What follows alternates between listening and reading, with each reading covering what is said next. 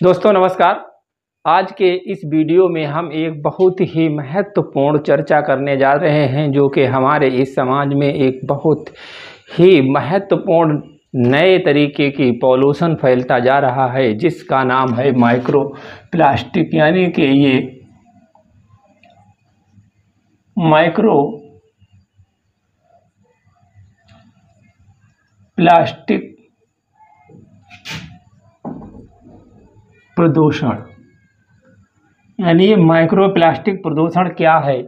इस तरीके का ये पहला नाम है जो कि आप लोगों ने सुना होगा या इससे पहले भी आप सुन चुके हैं तो ये जो है माइक्रो प्लास्टिक ज़्यादातर अंग्रेज़ी में जो है इसकी डिस्कस होती है तो इसलिए इसे समझना जो है हिंदी भाषियों के लिए बहुत ही मुश्किल है। लेकिन हम यहाँ पर आज जो है इसकी चर्चा हिंदी में करेंगे और आप लोगों को अच्छे से समझा देंगे। तो इस वीडियो में यदि आपको इस जानकारी चाहिए तो आप हमारे साथ अंत तक बने रहें। तो दोस्तों, क्या होता है माइक्रो प्लास्टिक यानी कि इस समय मनुष्य की जो सबसे महत्वपूर्ण खोज है, उसे प्लास्टिक अगर कहें तो बहुत ही अतिशयुक्त नहीं होगी। और आज का युग जो चल रहा है, उस युग को यदि प्लास्टिक युग कहा जाए तो कोई अतिशयुक्त नहीं होगी। क्योंकि कभी जो था हमारे यहाँ पाषाण युग चला है, उसके बाद जो है वो लोह युग और तांबा युग और लोह युग चले, लेकिन आज जो है वो प्लास्टिक युग आ गया है। लोह युग से बदल कर अब प्लास्टिक युग में हम प्रवेश कर चुके हैं और यही प्लास्टिक हमारे लिए बहुत ही घातक भी हो रही है, यानी कि बहुत ख़तरनाक हो रही है।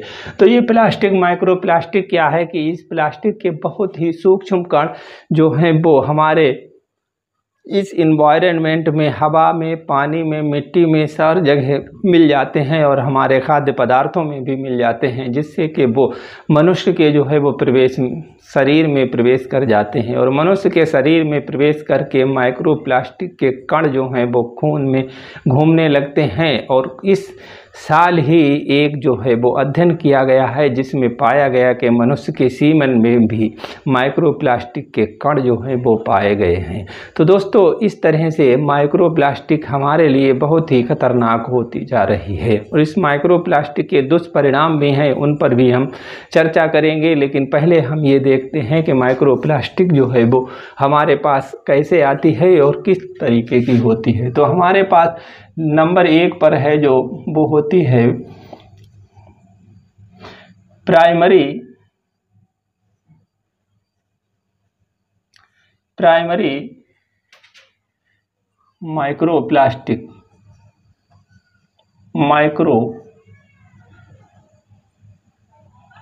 plastic primary micro plastic जो है वो पहली माइक्रो प्लास्टिक है जो कि हमारे पास आती है और ये माइक्रो प्लास्टिक हमारे पास जो है वो, जो हम बर्तन इस्तेमाल करते हैं या जो भी हम वस्तुएँ इस्तेमाल करते हैं, उसके रगड़ से जो इनके कण बहुत ही बारीक कण टूट जाते हैं। उन्हें जो है वो हम प्राथमिक माइक्रो प्लास्टिक के नाम से जानते हैं, यानी कि इसे प्राइमरी माइक्रो माइक्रो प्लास्टिक के नाम से जानते हैं। जैसे कि हम यदि प्लास्टिक के रबड़ के टायर जो हैं वो सड़क पर चलते हैं तो उसके चलने से रबड़ के महीन महीन कण जो हैं वो कट जाते हैं, या कोई प्लास्टिक की मशीन है जो प्लास्टिक की गरारियाँ हैं वो घूमती हैं तो उससे बहुत ही महीन प्लास्टिक के कण जो है वो टूट टूट कर और ज़मीन में, हमारी इस मिट्टी में, हवा में, पानी में मिलते रहते हैं। तो इन कणों को जो है वो प्राइमरी यानी कि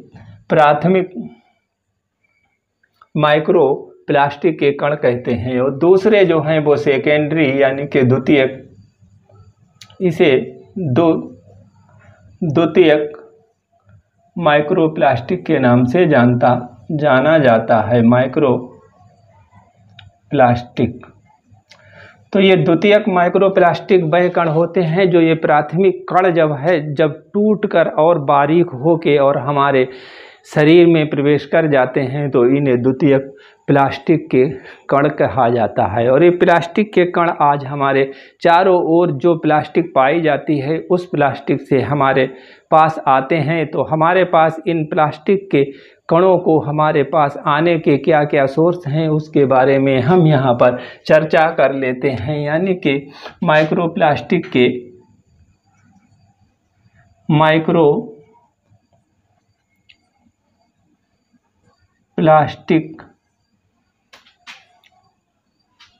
माइक्रोप्लास्टिक के कारण, यानी कि किसके क्या कारण हैं जो हमारे पास माइक्रोप्लास्टिक आ जाती है? तो सबसे पहले तो हम माइक्रोप्लास्टिक जो है, वो हम प्लास्टिक की वस्तुओं का यूज़ करते हैं। जैसे कि हमारे पास बर्तन होते हैं, हम बर्तनों का जो प्लास्टिक के बर्तनों का यूज़ करते हैं और उनमें खाना खाते हैं तो उससे हमारे नए बहुत ही बारीक कण जो हैं, वो खाने में मिल मिल कर और हमारे शरीर के अंदर प्रवेश कर जाते हैं। दूसरे जो हैं, इसी में पानी की बोतल भी है, अगर हम उससे पानी पीते हैं, गिलास है, उस गिलास से डालकर अगर हम पानी पीते हैं तो उस गिलास में बहुत ही बारीक जो वो नैनो और माइक्रो प्लास्टिक के कण हमारे शरीर में पानी के ज़रिए चले जाते हैं। दूसरे जो है, हमारे पास जो बोरवेल होते हैं, वो भी प्लास्टिक के अब होने लगे हैं। जो हमारे पास बोरवेल हैं, बोरवेल, वो भी प्लास्टिक के होते हैं और उन बोरवेल से जब हम पानी खींचते हैं तो उससे भी जो प्लास्टिक के कण हैं, वो पानी में मिलकर आते हैं। और वहीं हमारी टंकियाँ भी जो हैं, वो प्लास्टिक की होती हैं। उन टंकियों से और पाइपों से होकर जो पानी हमारे पास आता है, उस पानी में भी प्लास्टिक के बहुत ही महीन कण जो है, वो मिल जाते हैं। वहीं इसके हैं एंड थ्रो, जो हम use and use and throw throw सामान हम प्लास्टिक का प्रयोग करते हैं, यानी कि छोटे छोटे गिलास, चम्मच और प्लेटें जो हम यूज़ और थ्रो कर देते हैं, उनसे भी प्लास्टिक का जो है वो हमारे शरीर में, खाद्यान्न में मिलकर आ जाती है। और हम प्लास्टिक में जो हमारे पास पैकिंग होती है, पैकिंग हम प्लास्टिक में करते हैं तो उस पैकिंग से भी जो है प्लास्टिक के कण हमारे खाने, पीने के सामान में और वायु में मिल जाते हैं। वहीं हम जब पंखा वगैरह चलाते हैं, उसमें भी प्लास्टिक के ही पर होते हैं तो उनसे भी हमारे पास जो है वो बहुत ही प्लास्टिक के कण जो हैं वो आ जाते हैं और प्लास्टिक जो है वो हम फेंक देते हैं तो वो प्लास्टिक सागर में चली जाती है और उस सागर में जो पानी जो है उसमें मिल जाती है तो वो प्लास्टिक वहाँ सागर में भी बहुत ही नुकसान करती है और वो सागर से पानी से होकर फिर हमारे पास ही घूम कर आ जाती है। तो इस तरह से हमारे पास जो है वो कई तरीके के कारण होते हैं जो हमारे पास आ जाते हैं। जैसे हम जो है बहुत से टू टूथ टूथपेस्ट और टूथ ब्रश जो इस्तेमाल करते हैं उसमें भी प्लास्टिक होती है, यानी प्लास्टिक के ब्रश इस्तेमाल करते हैं और जो पैकिंग टूथपेस्ट होता है, वो भी प्लास्टिक में ही होता है। और हम अचार वगैरह के जो डब्बे होते हैं, वो भी प्लास्टिक के ही प्रयोग करते हैं, उनसे भी प्लास्टिक हमारे खाने में मिल जाता है। और चीनी वगैरह के जो है, वो नमक और चीनी के जो पैकिंग होते हैं, नमक के पैक पैकिंग जो होती है, वो भी प्लास्टिक में होती है तो इससे भी हमारे शरीर में प्लास्टिक आ जाती है। जब नमक और चीनी की पैकिंग प्लास्टिक में होती है तो उस प्लास्टिक की प्रोसेसिंग में जो है, वो प्लास्टिक हमारे नमक और चीनी जो है, खाद्य पदार्थ हैं, उनमें मिल जाती है और उसे जब हम खाते हैं तो वो प्लास्टिक हमारे शरीर में चली जाती है। वहीं जब प्लास्टिक के बहुत से जो है वो सामान हम इस्तेमाल करते हैं, जैसे कि बाल्टी वगैरह जो प्लास्टिक की होती हैं, उनका जब इस्तेमाल करते हैं, तब भी हमारे जो शरीर में है जो वो प्लास्टिक प्रवेश कर जाती है।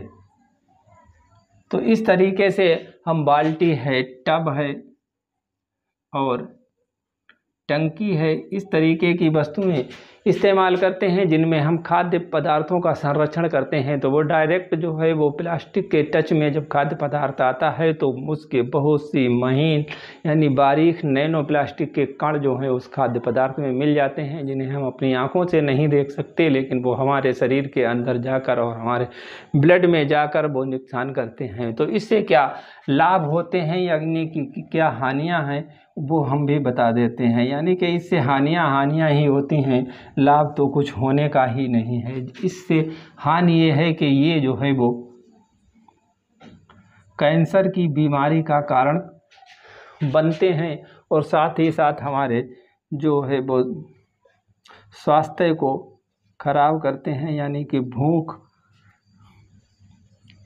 ना लगना। इस तरीके की बीमारियाँ बन जाती हैं। जब ये प्लास्टिक के कण हमारी कोशिकाओं में जाते हैं तो उस कोशिका को जो है वो बहुत ही प्रभावित करते हैं, जिससे कि कोशिका जो है वो लगभग डेथ होने की कगार पर आ जाती है। और मनुष्य का जीवन हम जानते हैं कि कोशिकाओं से ही है। हमारा शरीर जो है विभिन्न प्रकार की कोशिकाओं से मिलकर ही बना है। यदि हमारे इस शरीर की कोशिकाएँ जो हैं वो सेल जो हैं वो भी मरने लगेंगे तो हमारा शरीर किस तरीके से बचेगा? तो ये जो है वो असर करते हैं और हमारे जो है यदि पेट में जो बहुत ही छोटे छोटे छिद्र होते हैं, जिनसे कि हमारे शरीर में जो है, हमारे आमाशय रस लेते हैं तो उसमें यदि ये प्लास्टिक के कण फंस जाएँ तो आदमी को भूख ना लगने की भी बीमारी हो जाती है। वहीं ये जेनेटिक जेनेटिक बीमारियों का भी जो जेनेटिक बीमारी जो होती हैं, उनका भी कारण बनता है। यानी कि इसमें जीन्स जो होती हैं, मनुष्य की उस जीन्स में ये बदलाव कर देते हैं प्लास्टिक। तो इस तरीके से हमारे जो शरीर में बहुत ही बुरा प्लास्टिक का असर पड़ता है। तो दोस्तों, लेकिन हम करेंगे कि तो क्या करेंगे? क्योंकि ये युग जो है, वो प्लास्टिक का ही युग है। और इस प्लास्टिक के इतने खतरे हो गए हैं कि आने वाले समय में ये प्लास्टिक जो है, मानव जाति के विनाश का कारण ना बन जाए। इससे बचने के लिए जो है, मनुष्य को आज से ही सचेत होना पड़ेगा और प्लास्टिक के प्रयोग को कम से कम करना पड़ेगा। यानी कि इसकी कोई इलाज ही नहीं है, इसका केवल यही है कि हम प्लास्टिक का जो है वो कम से कम प्रयोग करें और कम से कम यूज़ करें। क्योंकि आज के सामान में हर चीज़ तो हमारे पास प्लास्टिक की है तो ये प्लास्टिक हमारे जीवन के लिए घातक है। तो दोस्तों, उम्मीद करता हूँ कि आज आपको माइक्रो प्लास्टिक और नैनो प्लास्टिक के बारे में पता चल गया होगा। मिलते हैं अगले वीडियो में शीघ्र ही। तब तक के लिए जय हिंद, धन्यवाद।